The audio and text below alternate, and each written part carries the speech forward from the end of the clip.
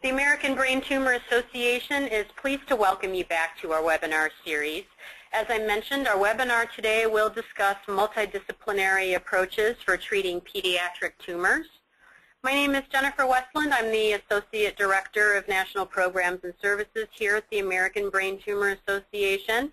And I'm delighted to introduce our speaker today, Dr. Mark Kieran. Dr. Kieran is the Clinical Director of Neuro-Oncology at Dana-Farber Children's Hospital Cancer Center in Boston.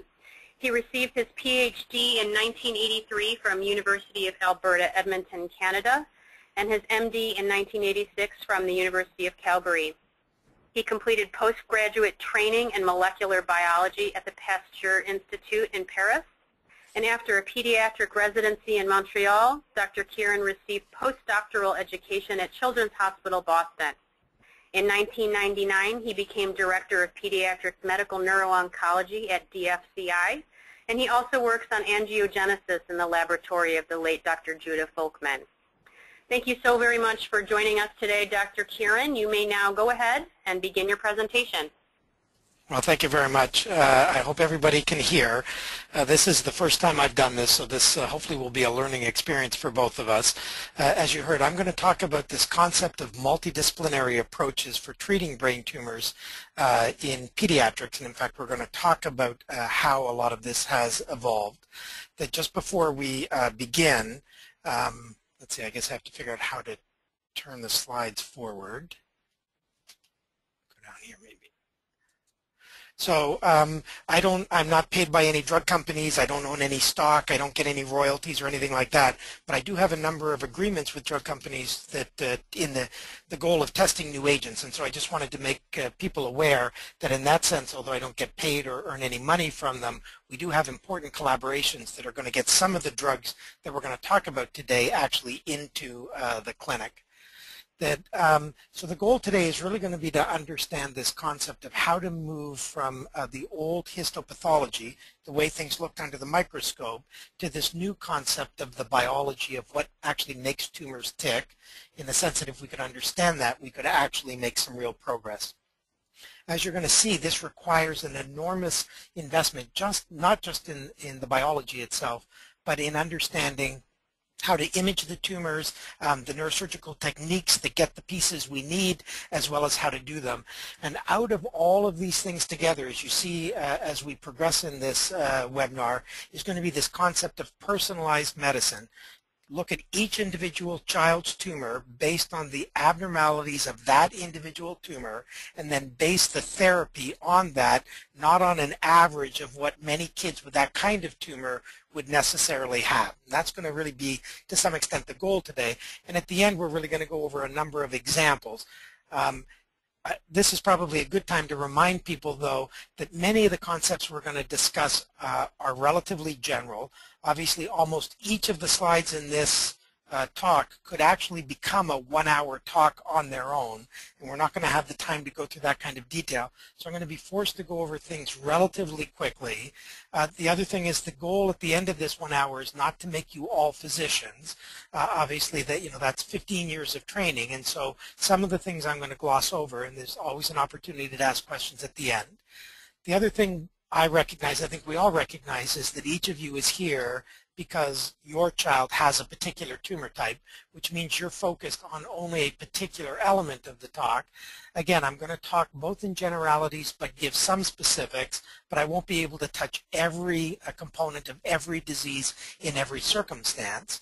And in that sense, uh, again, time to ask questions at the end uh, if we have time.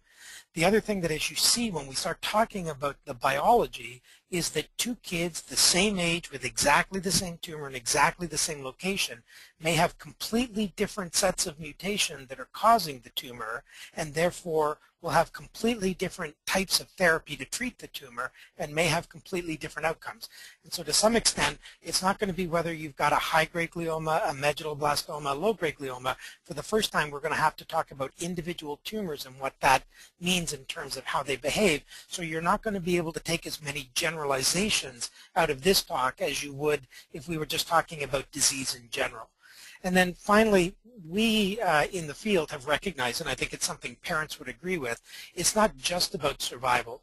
As a parent myself, we're obviously concerned not just about whether our child survives, but can they finish school? Can they go to university? Can they get a job? Can they have relationships? Can they have kids?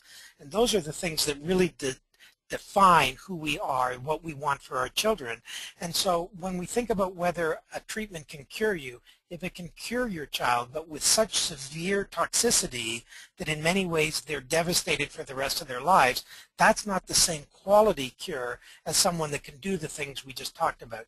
And so a lot of the new biologic therapy is going to be based on this concept of let's get away from all the toxic radiation and chemotherapy and let's begin to address what makes a tumor tick on the assumption that if you treat that specific problem, you can do so much more effectively and with a lot less toxicity.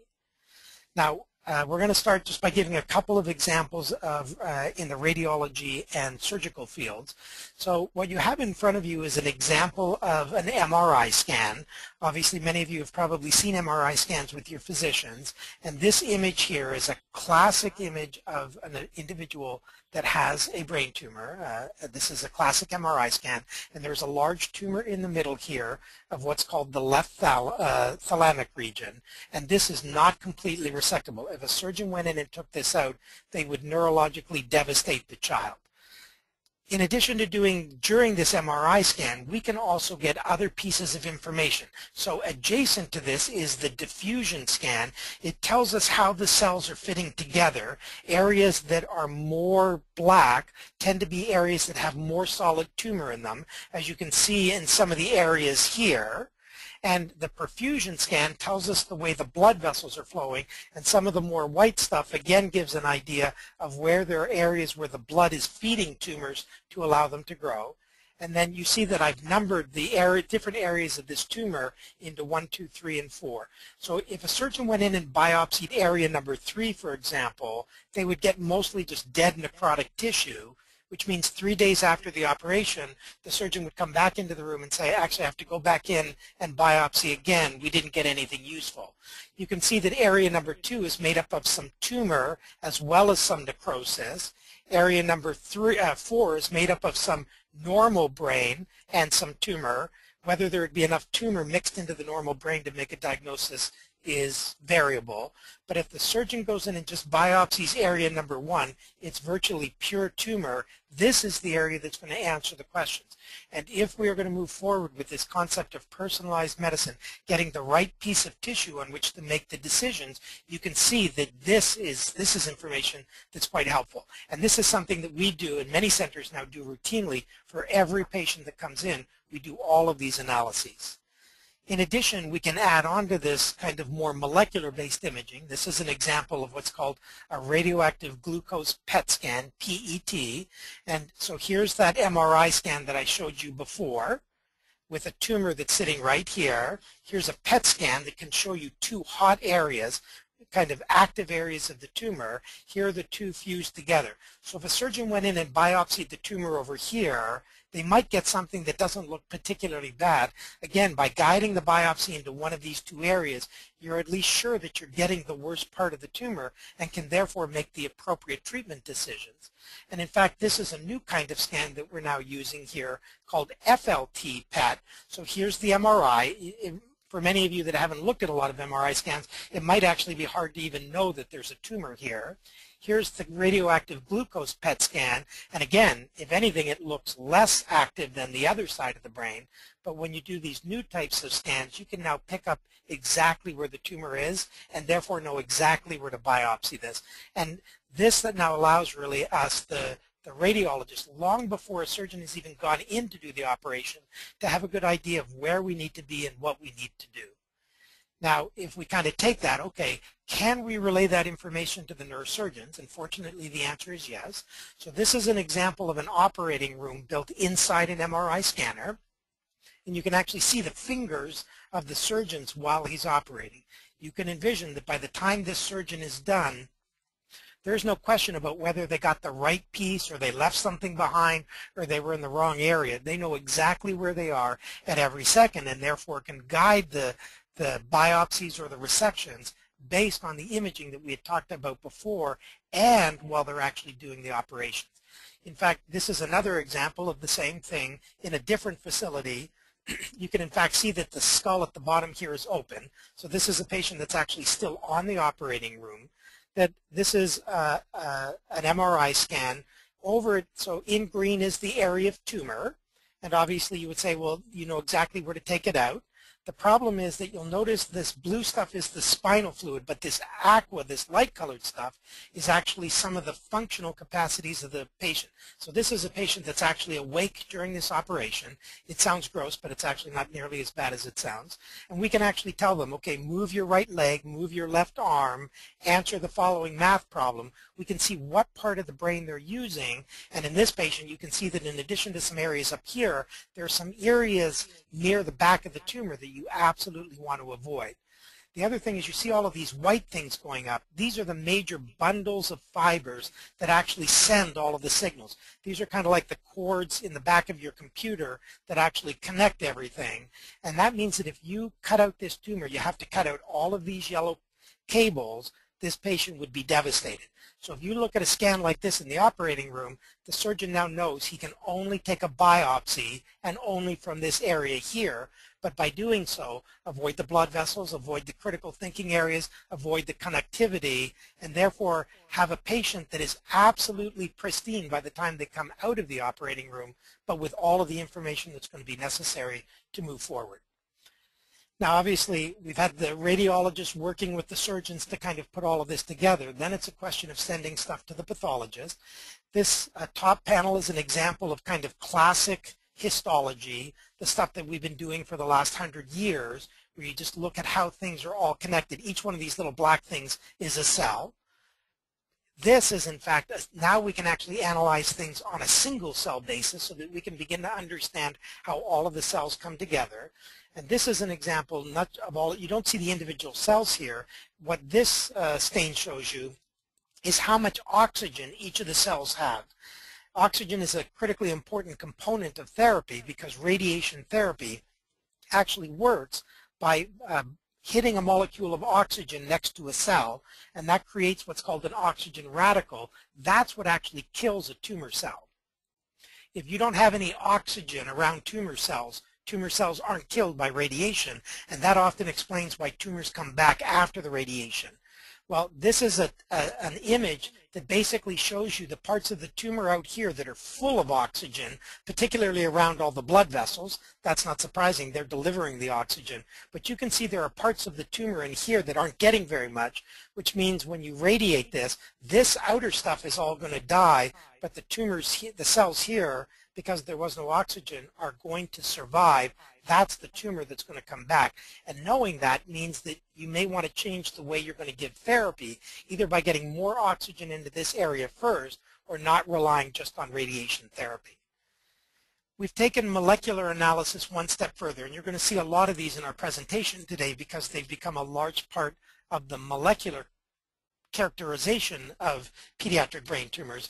This is an important study. It was the very first of its type in children with brain tumors done here at the Boston Children's Hospital, um, looking at the molecular profile of patients' uh, children. So each line, each uh, column going down is an individual child. So there are about 10 children across here, another 10 here, and so forth. Each row is a gene, and there are about 30 or 40,000 genes in the body that tell things how to function. Some of them are more important than others. Just like in your car, you know, the gas pedal is pretty important in terms of going uh, not fast enough or too fast. Um, if you break your antenna, it's not such a big deal, but if your gas pedal gets stuck to the floor, you can be in big trouble. And this gives us an idea of what some of the important things are.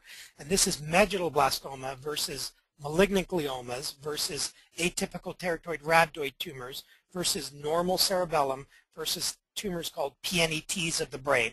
And you can see that they each have completely different sets of genes that are either up or down that tell us that they're functioning in different capacities. But in fact, if you just took these medulloblastomas and said, did the same thing, notice how different the medulloblastoma of patient 1 is to the medulloblastoma of patient 2.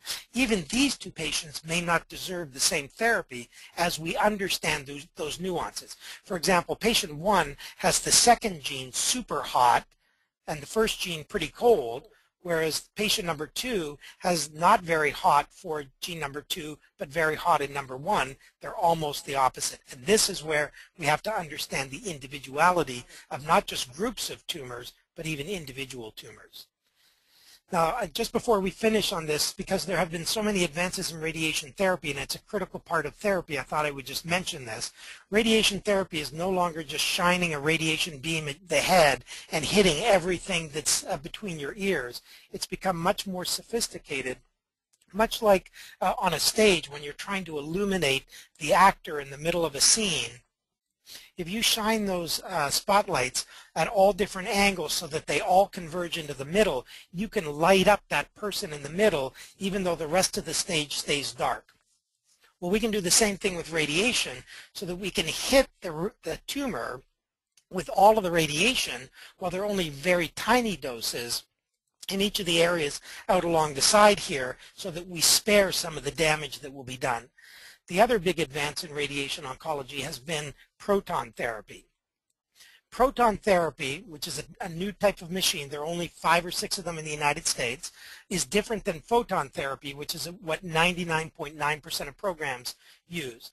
They're equally effective if you had a spinal tumor. So this is a cross-section of the abdomen. If you were treating a spinal tumor, they both give the same dose to the tumor in the middle of the spinal canal. But because photons have to pass through stuff, they also end up accidentally hitting the heart, the liver, the lung, the kidneys, areas for which there isn't there is no evidence of tumor in a patient like this, whereas photons can actually stop the movement of the beam so that those tissues in here don't get any of that. And you can envision, it means that uh, protons are not more curative, you get exactly the same dose, but you do less damage to things that aren't involved with the tumor, and therefore it gives you better quality of life afterwards.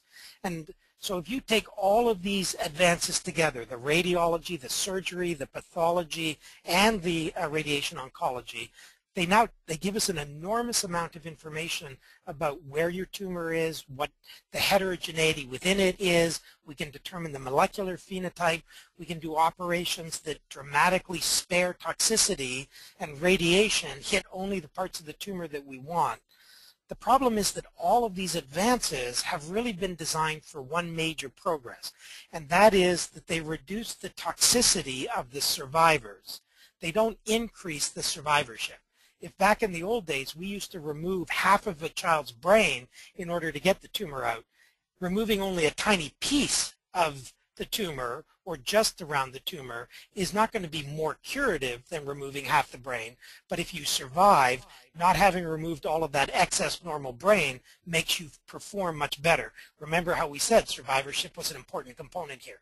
Similarly, back in the old days, they would just radiate the entire brain well, now, if you only radiate just the area of the tumor, isn't going to make you more cured. But by not irradiating the normal areas of the brain means that if you survive, your quality of survivorship goes way up. And obviously the key for the rest of today's discussion is going to be, okay, we need to continue advance on improved neurosurgical techniques, radiation therapy techniques, and so forth, so that the quality of survivorship is better. But how do we actually improve the overall treatment? And in order to do that, we have to better understand what actually makes a tumor tick so that we can actually go after that particular abnormality and in doing so hopefully cause a lot less collateral damage and a much higher cure rate.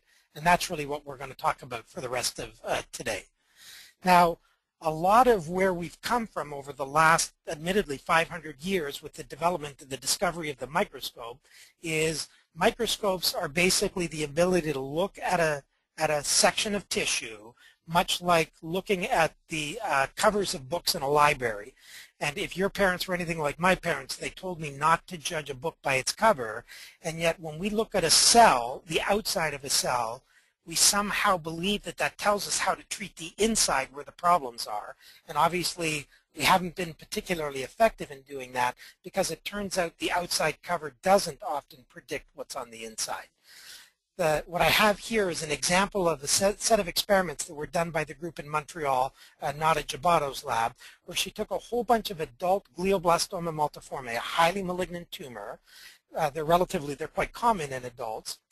And she did the molecular profile, so things that are either upregulated or downregulated, and you can see that there's a certain pattern to these adult uh, GBMs. She then took a whole bunch of pediatric GBMs and did exactly the same analysis.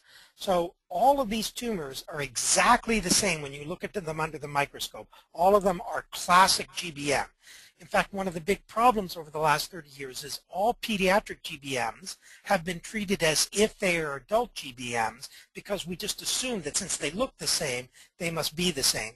But what this group demonstrated is that, for example, this group of pediatric GBMs don't have any of the abnormalities here that the adult ones do, and that even pediatric tumors that do have those same abnormalities then have a completely different set of abnormalities that both other pediatric tumors don't have nor the adults have, i.e. pediatric tumors are not just different from adults, many pediatric tumors, GBMs for example, are even different from each other, which means there isn't even going to be one treatment just for kids with this tumor, let alone using the treatment of adults, that already means we're barking up the wrong direction. And this concept of looking at differences not from a microscopic point of view, but from a molecular point of view is what's going to lead us to the next step. Now we in fact in Boston are already doing this. When a child goes to the operating room with a spot that's seen on an MRI scan with all of the things we've talked about, the radiology, the surgery, and the surgeon takes some of it out and we analyze it in the ways under the microscope, but we also take some of the DNA, the RNA, and the proteins, the building blocks of all cells, and the things where the mutations are going to have occurred. And many mutations are in DNA, some mutations are in RNA, and some mutations are in protein, so you have to analyze all three of them we can then do all of those molecular analyses that we've been talking about, figure out exactly what's wrong with this individual tumor, and then begin to ask questions. And again, everything I'm going to show you today is not things that are theoretically things that we might one day be doing in kids. Every single thing I've showed you so far and will continue to show you is already being done in kids with brain tumors. Now, as we've uh, switched from this kind of microscopic appearance to cells to this concept of understanding the biology brings in these things called pathways. And uh, it's again, we're not going to make you pathway experts in a one short hour talk, but the basic concepts here that are repeated a hundred thousand times over in uh, patients, both adult and pediatrics, is you have things on the outside of the cells like growth factors and ligands, basically that, that say how much food is in the neighborhood, that kind of stuff. There are these receptors that link to the inside of the cell. This is the cell membrane. And then there are pathways. One of them is the PI3 uh, kinase pathway demonstrated here. You can see me moving up and down.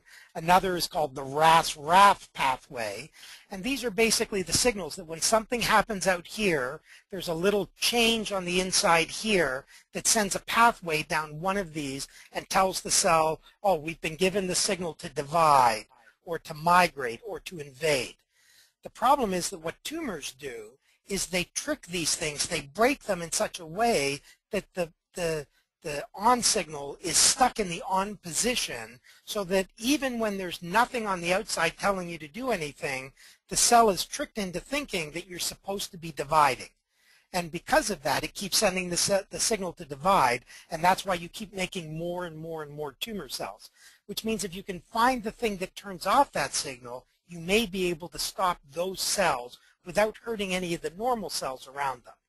Okay, now this is another complicated picture of exactly the same thing I just showed you. So here's the receptor. Here's the little thing that would normally bind and tell it to send a signal because it's time to divide or something. The problem is that with mutations, these things start happening on their own.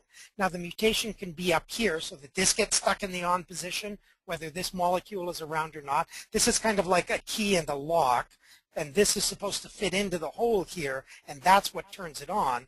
But sometimes this can stay on even when that's not present.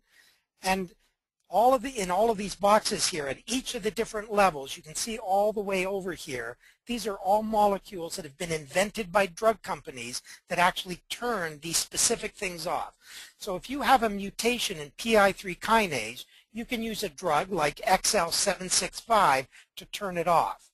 If your child's mutation is in something over here called BRAF, using a drug over here isn't going to help because it's on the wrong pathway. So you can begin to see how important it is to know for your child's individual tumor exactly where is the abnormality because then that tells us exactly which drug to use.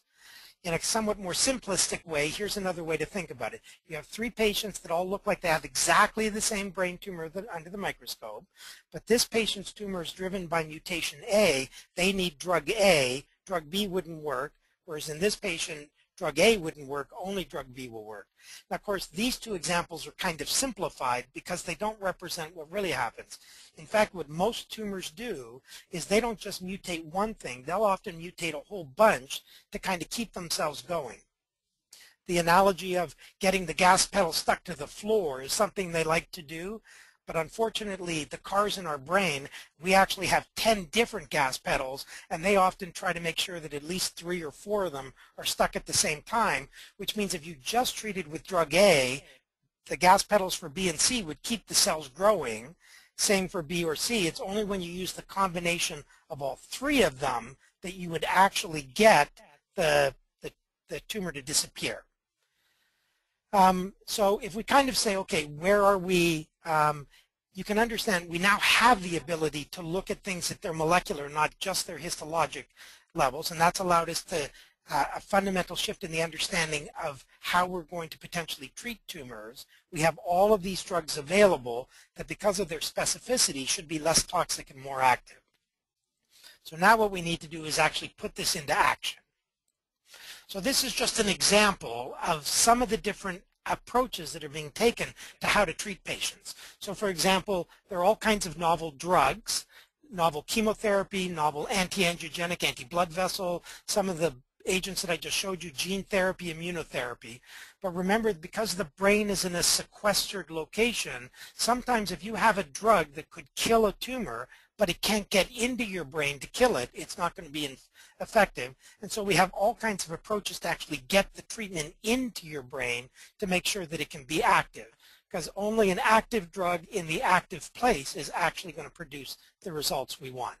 Now, all of these have been tested in kids, whether it be directly into the spinal fluid, wafers, reservoirs, uh, tumoral infusion or this, eh, this new area called convection enhanced delivery. And what I was going to do is just give you one example of how we're altering the way we get stuff into uh, tumors. So convection enhanced delivery is this concept of bypassing the blood-brain barrier by actually putting catheters right into the brain so there's no question about how stuff gets in. So when a surgeon cuts out your tumor, obviously the stuff they've cut out is the stuff that's never going to hurt your child uh, again. It's sitting in a pathology some, somewhere, sitting in, in formaldehyde. It's the little fibers that come off of the tumor that the surgeon can't see. And obviously you didn't want a surgeon to take a big, huge swath of normal brain to try and get these out because he can't even see them. So this is a place where we start using this new technology. So what you could do, for example, is put a catheter into this, not into here, because then the, the liquid would just sit there like, like water in a pothole, but rather into the leading edges and then under pressure, that's what this shows, you can start to force the drug through and around all of the cells.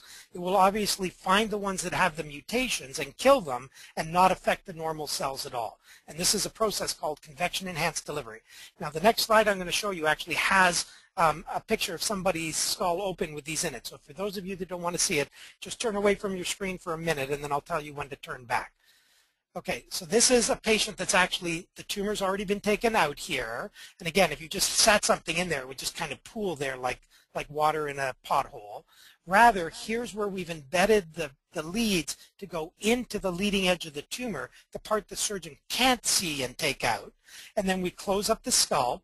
And then what we do is through these little ports here, we start infusing the drugs to find those tumor cells and kill them, knowing that for sure the drug is going to get in. They're already within the brain. Now, this isn't a perfect technology. In fact, here in Boston, we did the first two kids ever right here. The problem right now, for example, is that when you start squirting the stuff in, it often starts leaking back up along the tube and leaks out here.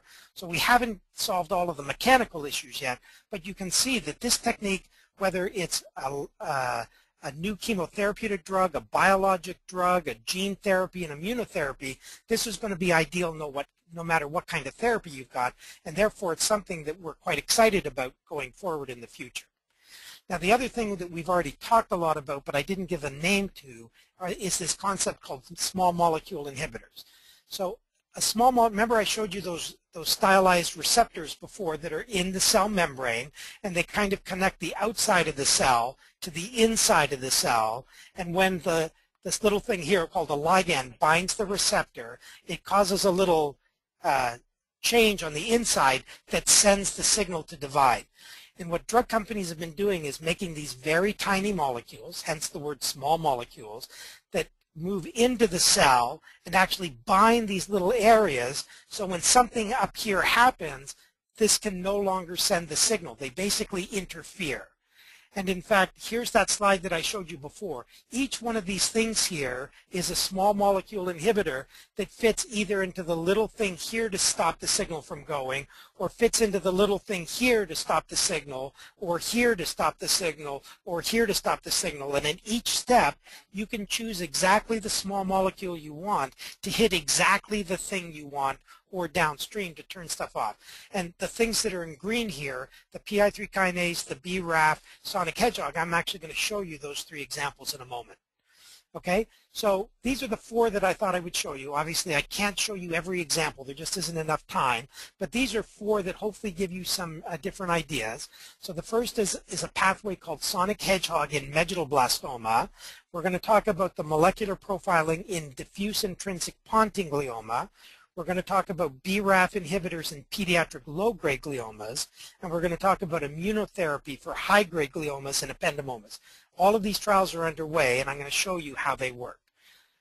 So remember at the very beginning I had showed you that blue pinkogram thing of the different tumor types, the very first one that was done for kids with brain tumors, and I showed you up in the corner just the medulloblastoma ones. So in this profile, so this is a couple of hundred kids all with medulloblastoma. And now when you repeat that analysis that I showed you before, but with hundreds of samples, you can see that medulloblastoma isn't a single disease. Here's one type of medulloblastoma, and you can even guess that maybe this site is a little bit different than this side. Here's a second type of medulloblastoma, and again, this one looks even a little different from this one. Whether those should be two separate categories or one, we could discuss. Here's a third type. This is called Wnt type medulloblastoma, and this one here is called sonic uh, uh, hedgehog medulloblastoma. And I'm going to give some examples of clinical trials that we're doing here. But we also have clinical trials for this one now and for this one. Don't have any yet for this one, but you can see that treating patients with this therapy that have this, this, or this type of medulloblastoma isn't going to work. Can't really think of medulloblastoma as a single disease anymore. So this is a kind of weird picture, and I'll explain what it is. Um, so um, as often happens, there was a fortuitous discovery from pregnant lambs that were feeding on these wildflowers in the hills of California and Colorado with a plant called Veratrum californicum. And it just so happens that if the, the ewe was pregnant at the time that she was eating these plants, she would be born, she would give an offspring of a baby that when it was born was cycloped, it had only one eye, and it had no formation of the brain. The brain never ended up forming. And it turns out that we discovered that the reason this is true is that early in development, your brain has, your brain cells have to divide like crazy. That's how you get all of your brain cells. So although when we think about cancers as dividing cells as being a bad thing, remember that at one point in your development, dividing brain cells was in fact a very good thing. Now, uh, perhaps one of the most uh, disappointing parts of the entire presentation today is the knowledge that actually at the time of about one month after birth, you have all of the brain cells you're basically ever going to have. So you're kind of smartest at about one month of age. What makes us smart as we get older is not making new brain cells. You don't do that. The, dividing of brain cells is done. It's the connections between the cells you've already got. So the problem in this lamb is that because this drug was present during the formation of the brain, none of the cells could divide to actually make the brain. But of course, for kids with medulloblastoma, after one month of age, they've already got their brain fully formed, and so there is no more normal brain proliferation. But it turns out that the tumor cells are dividing, and what they have done is trick the body, some of the cells in the brain, to think that they're embryos again and that they should be dividing. It's one of the kind of bad things that tumor cells do in tricking it so that the body doesn't try to stop it. It simply tells it to do something it was supposed to do, but not anymore. Well, of course, now we can take that same drug that turns off the division abnormally if you're a fetus, can now turn it off when it shouldn't be happening without hurting any of the normal cells. This is an example of a molecularly targeted approach to a specific abnormality that will allow us to treat these tumors. And there are a whole bunch of drug companies tripping over each other to try and figure out who can make the best of these drugs. We're not going to focus on any one person's drug over anybody else's. They all have pros and cons. This is part of the clinical trial that I've been running both in North America and Europe. Here are two kids that had had radiation, chemotherapy, transplants, and whose medulloblastoma kept coming back. We tested them and they were positive for the sonic hedgehog type, not those other types. We treated them with a sonic hedgehog inhibitor and lo and behold the tumors disappeared. Exactly what we would have predicted for the sonic hedgehog type. We also treated some patients that had the non-sonic hedgehog medulloblastoma with this same drug, and not surprisingly, it didn't work at all. If you don't have the sonic hedgehog as the mutation, a sonic hedgehog drug isn't going to work. Okay? So the second example I'm going to give you is about uh, molecular profiling for diffuse pontine glioma. This is in pediatrics probably the worst of the worst. These are highly malignant tumors in the pons of the brain that uh, do a lot of damage because they kind of infiltrate everywhere. And the the kind of dogma for the last 30 years is you should never biopsy because if you biopsy this part of the brain, you could damage some of the critical stuff in here. And so we don't biopsy them. And because we don't biopsy them, we don't even know what these are. So for the last 30 years, we've been treating them as adult glioblastoma multiforme. And 30 years ago, the survival rate for kids with diffuse intrinsic pontine glioma, virtually all of the kids have died by two years. And over the last 30 years, we've now done about 250 trials treating these just like adult glioblastoma multiforme with all kinds of different drugs. And after a 250 trial, thousands and thousands of patients in 30 years, the cure rate is still virtually zero, and virtually everyone is still dead by two years. We've made no progress. And so uh, some years back, with all of the developments that I showed you in surgery and imaging, we asked the question, could you start to biopsy these tumors? Well, the French beat us to it. They did the first ones, and so we started working with the French, and we actually took some of these newly diagnosed tumors, and we analyzed them for some of those signals, some of those potential mutations. And here we found about a third of the, a quarter of the kids have a mutation in the PI3 kinase pathway. And the reason that's so important is, as I showed you, we already have a drug that turns off that mutation. And in fact, the drug company that makes that drug has already approved a clinical trial specifically for kids with pontine glioma that have that mutation. This is kind of like, you know, medicine in action. We're actually reacting to the things that we're discovering. Now again, we still need to continue to biopsy to learn a lot more about these tumors, and we've been doing that now. So we now routinely biopsy, and this is a protocol that we're running here in Boston, and 20 other sites around the United States have joined in with us. We're using all of this very sophisticated imaging. We can go in and just biopsy just the part of the tumor we want. You can kind of see it in all of this coordinated stuff here. And with that, then determine what your treatment should be.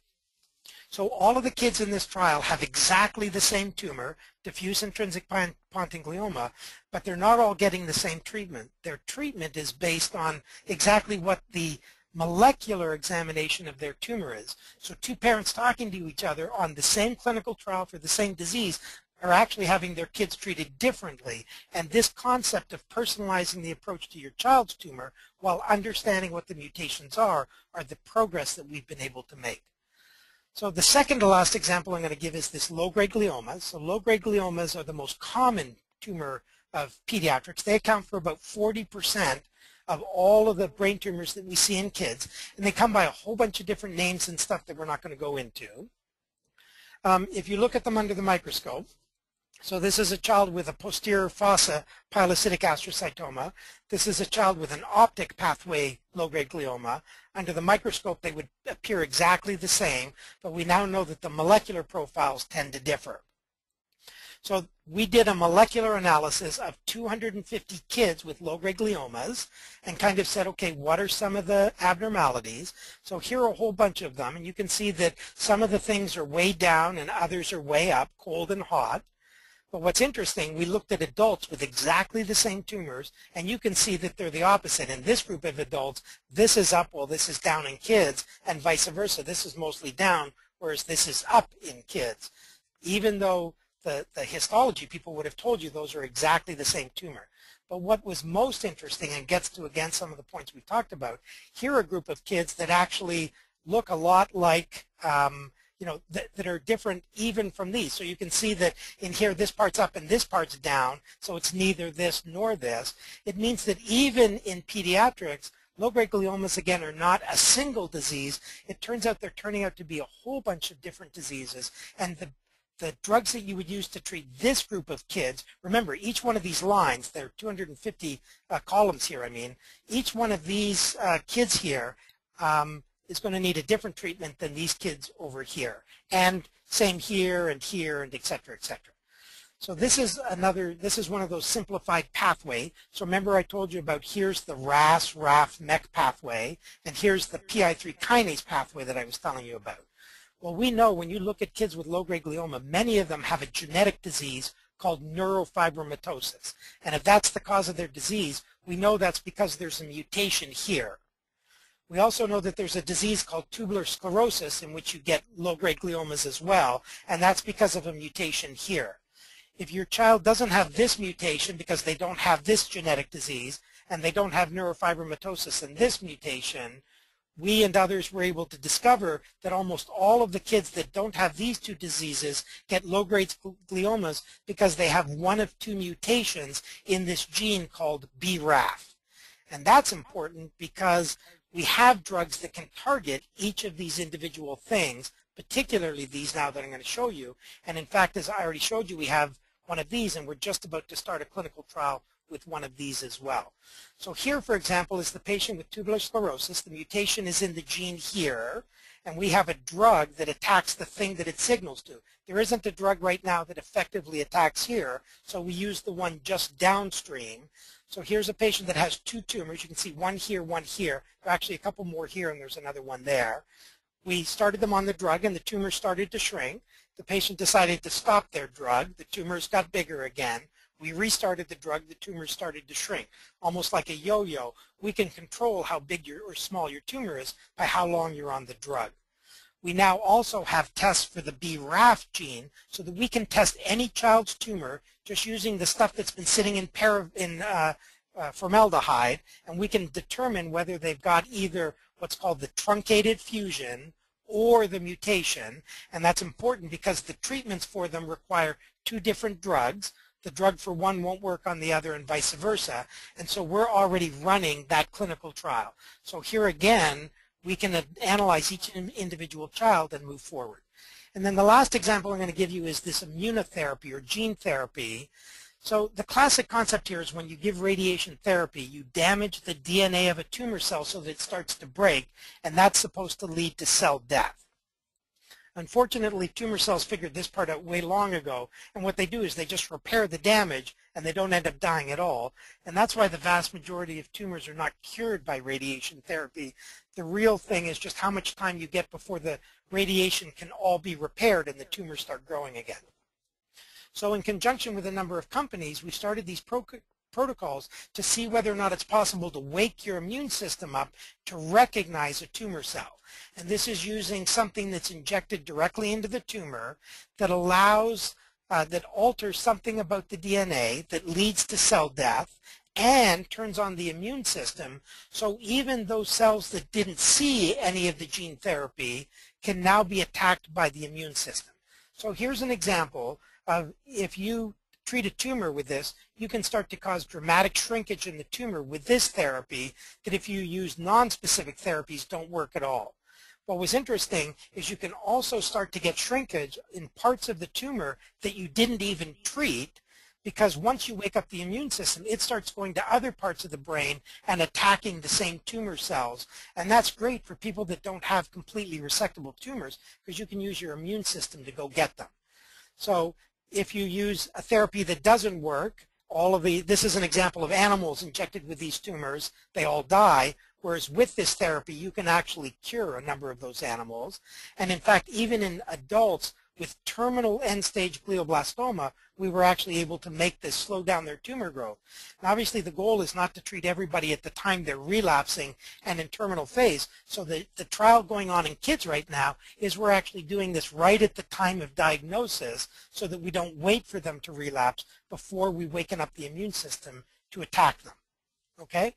So when we kind of summarize just these, these four examples, Again, enormous advances in defining the molecular signature of a tumor, and that through those we've recognized pediatric tumors are completely different in the vast majority of cases from adults, that the treatments that we use you know, using these targeted inhibitors can specifically attack individual mutations, but obviously that means that you have to know what mutation you're treating in order to know what drug to choose for which particular child. And then as we think about starting to combine all of these inhibitors together, we're going to be able to make the perfect uh, cocktail for each individual child once we have learned all of these. Now I should point out, remember, not every drug company has yet discovered a drug against every mutation. So there are still some mutations for which they haven't found drugs. So this isn't the perfect situation yet, but it's getting better every day. And even over the last five years, the number of, of pathways that can be targeted have gone up exponentially.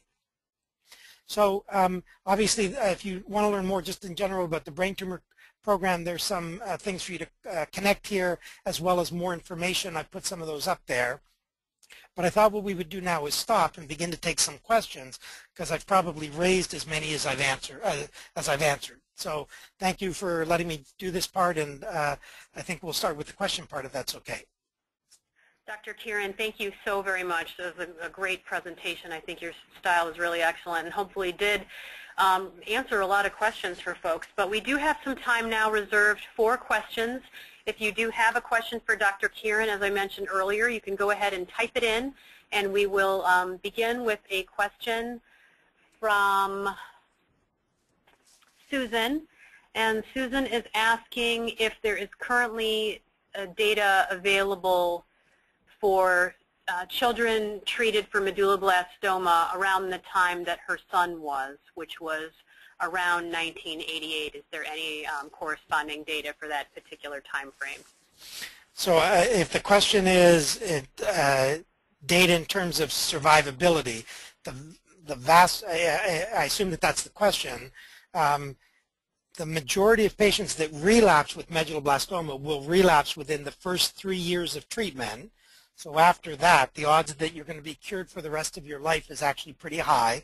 Obviously, there are some rare late, late relapses, but odds are her child is going to be a long-term survivor. Obviously, our therapies back then were not nearly as sophisticated, so we tended to do more damage back then than we necessarily do now. Um, and those are unfortunately things we can't always take back. The one thing you do have to be careful of is that because a lot of those therapies use radiation therapy, remember that radiation therapy isn't just a good way to treat a tumor, it's a good way to also cause a tumor. And so these are kids that need surveillance all of their lives to make sure that we're not inducing something.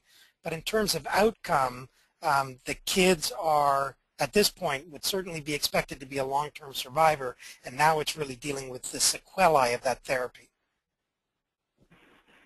Thank you. Uh, there's another question from Lana, and she asks, what identifiers determine if a mass is a cyst or a tumor? So it's um, so a cyst is is technically defined as a fluid-filled cavity, whereas a mass, um, and it's a little bit semantics, and I'm sure many of you have already been through this. You know, does my child have a tumor or cancer? And um, we typically think of a mass as being something solid, and for the brain, uh, the word mass, tumor, cancer are largely synonymous.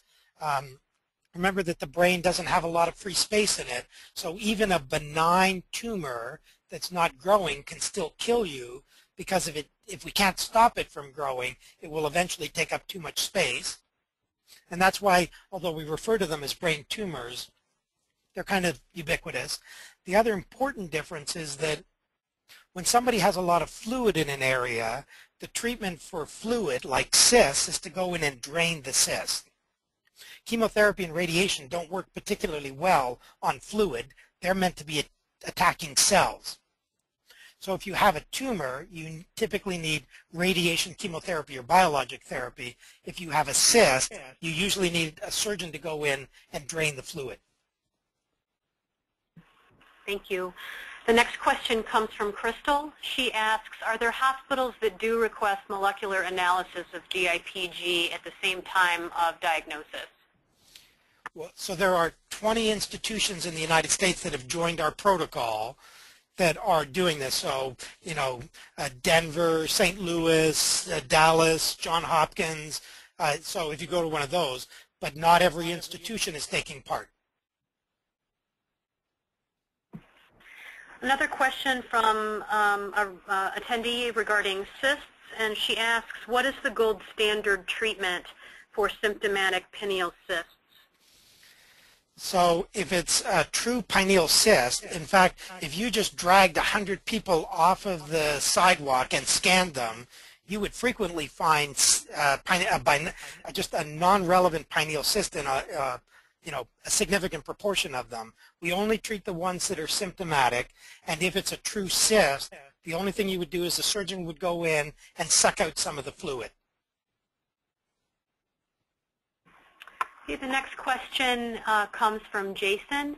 He asks, are there any examples in pediatric or adult brain tumors where the therapies mentioned have led to long-term remission?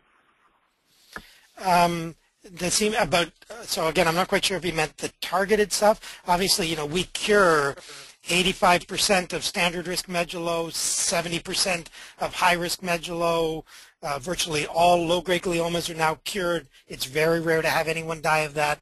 Uh, so we're already curing a lot of patients, although we're doing it with a fair amount of toxicity. So um, the question of, of are we curing patients even with the old therapies, the answer is yes. Um, the problem in terms of the newer therapies is the way we would typically define cure is that you die of old age, which means our therapies have to be kind of 60 or 70 years old in order for our kids to now have died of old age and not their tumor. And unfortunately, we haven't been doing that long enough to answer that question. So, uh, you know, I have every expectation that many of the therapies we're now doing will result in long-term cures, but you'll only answer that question in the long term. Thank you. The next question comes from Patricia, and she asks, um, with respect to anaplastic astrocytoma recurrence, are there any therapies available for that?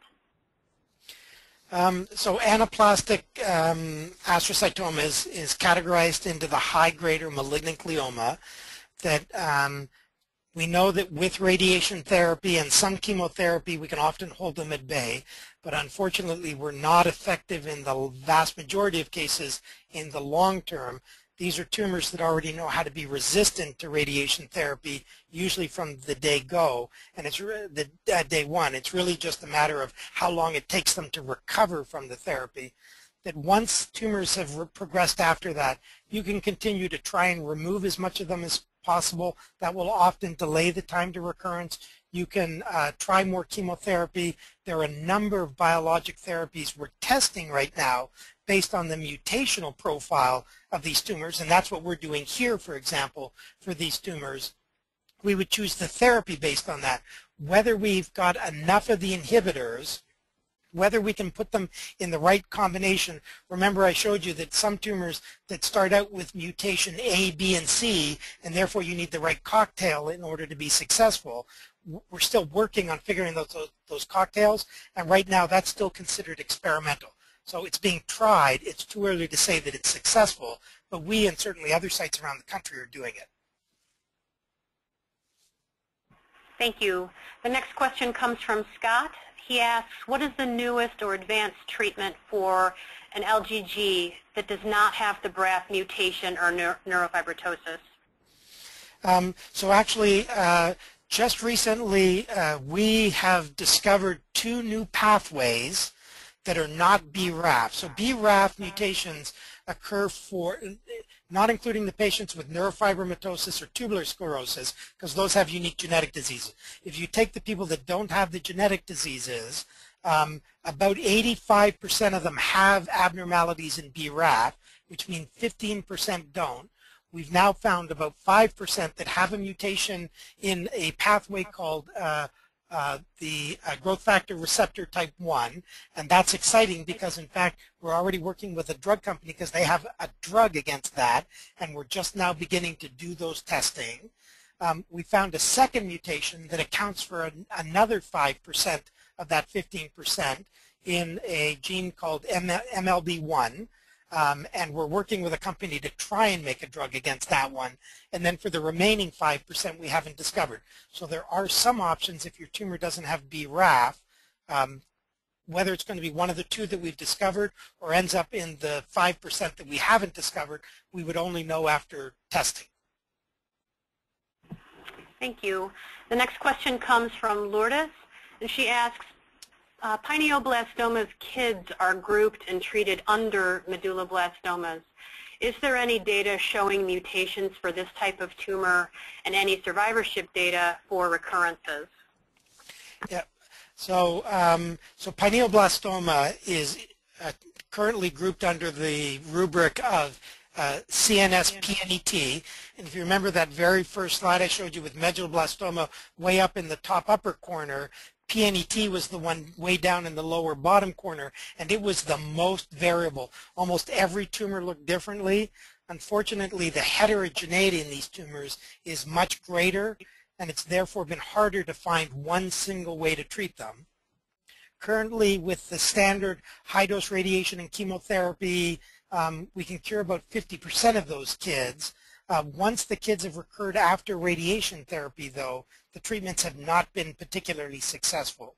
Um, there are some experimental therapies going on, but again, those are all investigational. I don't want to make it sound like any of them have yet been proved effective. So we don't hold anything back when we're treating these highly malignant upfront tumors like PNETs, like pineoblastoma, like anaplastic astrocytoma, like GBM, like DIPG. We throw all of the best we've got at them up front, um, which means once they've recurred, unfortunately, we don't have as much good stuff left behind. Thank you. The next question comes from Carrie, and she asks, where is the majority of research of understanding tumors at the molecular level taking place?